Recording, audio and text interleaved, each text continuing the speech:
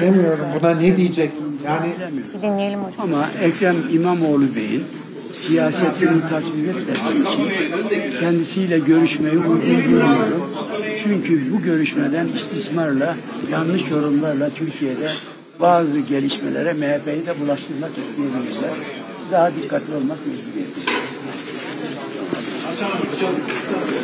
Teşekkür ederim başkanım. Ee, Ekrem İmamoğlu'nun MHP e, lideri genel başkanı Sayın Bahçeli'den randevu talebi vardı. Bu soru gazeteciler tarafından grup toplantısı çıkışında soruldu. Programda pek mümkün görünmüyor dedi anladığım, duyabildiğim kadarıyla. Çocuklar yanlışsam beni düzeltin olur mu? Ee, kayyum konusunda da ne söylediğini söyleyeyim Deniz. Ganimet nedir, ganimet avı nedir? Ee, anayasa değişikliğini ve yeniden Cumhurbaşkanı Erdoğan'ın Cumhurbaşkanı adayı olacağını söylüyor. E, kayyum konusunda da e, Sayın Bahçeli şöyle söylüyor.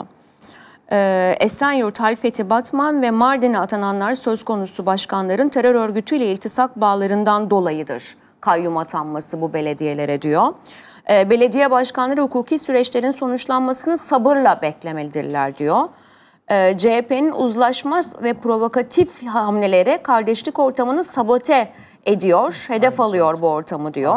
Köklü aileye mensup Kürt ağası Sayın Ahmet Türk'ün e, istismar edilmesi İmralı'ya DEM Parti arasına çomak sokma girişimleri e, CHP'nin dış mahsulüdür diyor. Yani Ahmet Türk'ü e, ve işte bir daha tekrarlar mısın? ee, CHP'nin uzlaşmaz ve provokatif hamleleri kardeşlik ortamının sabote edilmesini hedef alıyor diyor. Yani CHP diyor kardeşlik ortamını sabote Evet, ediyor diyor. o. Ee, köklü aileye mensup, Mensup. Kürt ağası Sayın Ahmet Türk'ün istismar edilmesi, yani CHP o Ahmet Türk'ü istismar istismar ediyor. ediyorlar diyor. İmralı'ya DEM Parti arasına çomak sokma girişimi yapıyorlar diyor. Bu diyor CHP'nin diyor işte dış mahsul ürünleri şeyler diyor. Ha, istiyor ki dönem 15 yıldır istismar mı edildi? is- istiyor ki bu APO son derece kullanışlı bir eleman. Kullanışlı elemanı biz İmralı'da e, tuttuk. Ona da bir havuç göstereceğiz. Seni salacağız diyeceğiz. Sen bunun karşılığında geleceksin mecliste konuşacaksın. Meclise konuştuktan sonra DEM milletvekilleri de senin lafını dinleyecek. Ondan sonra DEM milletvekilleri gelecek AKP ve MHP ile beraber biz ne dersek anayasaya evet diyecek. Ondan sonra da biz bu iktidarımızı dibine kadar tekrar sürdüreceğiz diyor. Bunun Sayın Bahçeli'nin söylediği budur. Ekrem İmamoğlu ile görüşmeyi uygun bulmuyorum. Bu görüşme Türkiye'de istismar edilebilir. E, randevu talebine red yanıtı veriyor Deniz. Kayyumlar Evet. konusunda süreci Ya ben- bekleyin Bence diyor.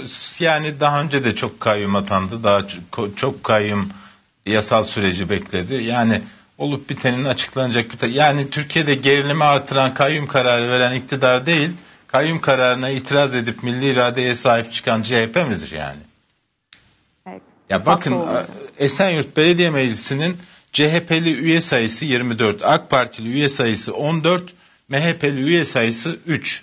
Atanmış seçilmişleri Esenyurt içeri Belediye sokmuyor. Başkanı yüzde yüzde 49 e, oy almış CHP Esenyurt'ta.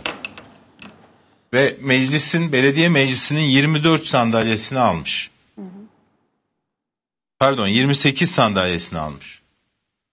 Yani Evet. AK Parti 14 almış o 28 almış tam iki katı. E şimdi bu burada gerilim yaratan bu milli iradeye darbe indirenler midir? Buna itiraz edenler midir?